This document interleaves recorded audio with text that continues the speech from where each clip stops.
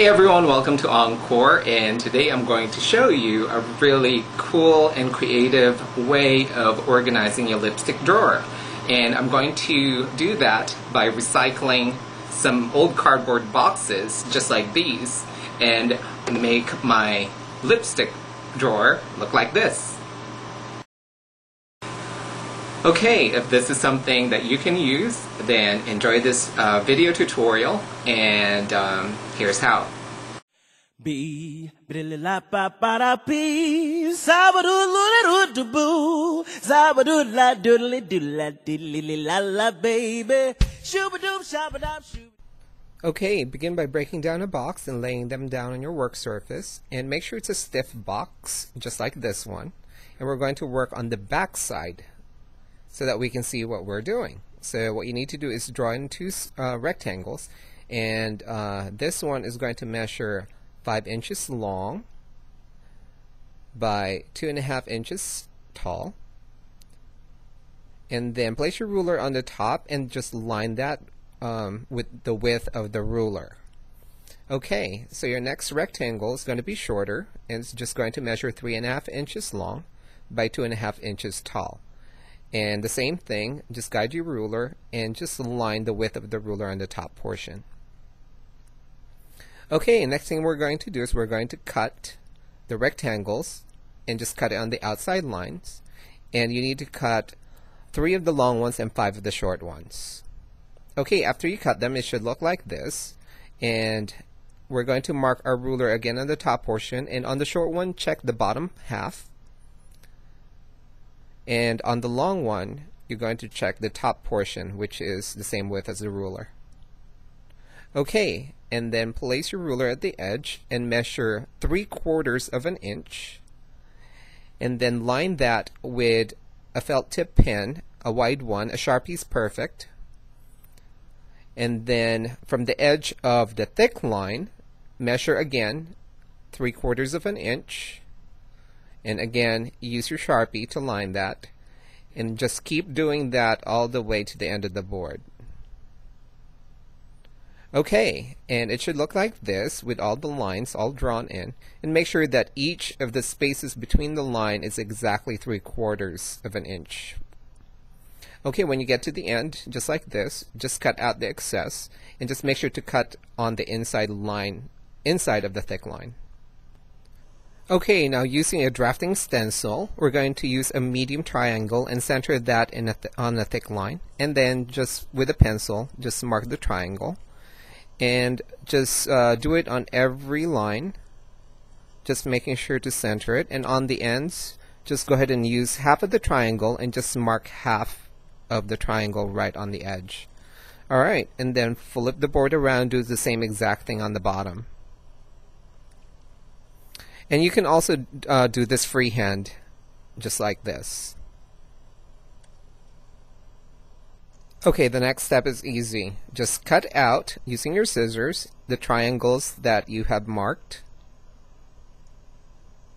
just like so. Okay, once you cut out the triangles, your board should look like this. It looks like it has notches in them. So um, this one is the one that we marked on the top. So what we're going to do is we're going to cut some slits all the way to the line and we're going to cut out using our scissors and we're just going to cut out the outer edges of the thick line.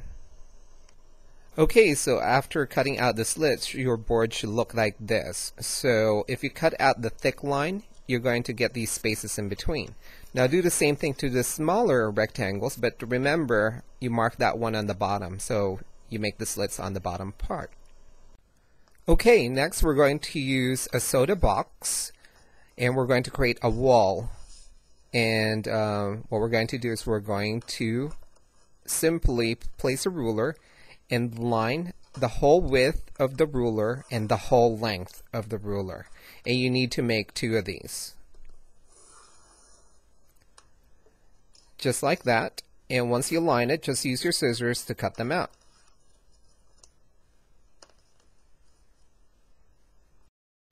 Okay, once you cut out the two strips, we're going to work on the first one. And you wanted to place this, the short piece right at the end edge and then where that small piece ends just fold to score and then bend and press and that will create a nice sharp corner.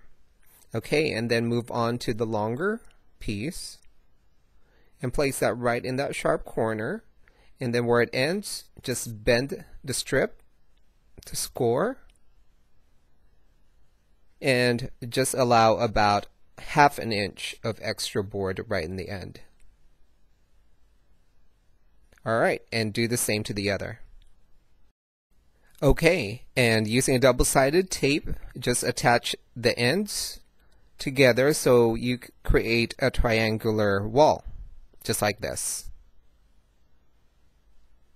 Okay, now we're ready to assemble, and starting with the long piece and a short piece, we just wanted to slip the notches starting at the end and make sure the short ones, the notches are downwards and the long ones are upwards.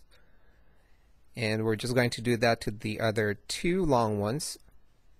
And it's easier to do the ends first, just like that, and then add the middle one. Just like so. And then we're going to add the other end with another small piece or shorter piece and the same thing. Just slip it in. Just like so. And the rest is easy. You just basically put in the rest of the shorter pieces in. Just like that. And voila there you go you have a compartment that looks like a honeycomb.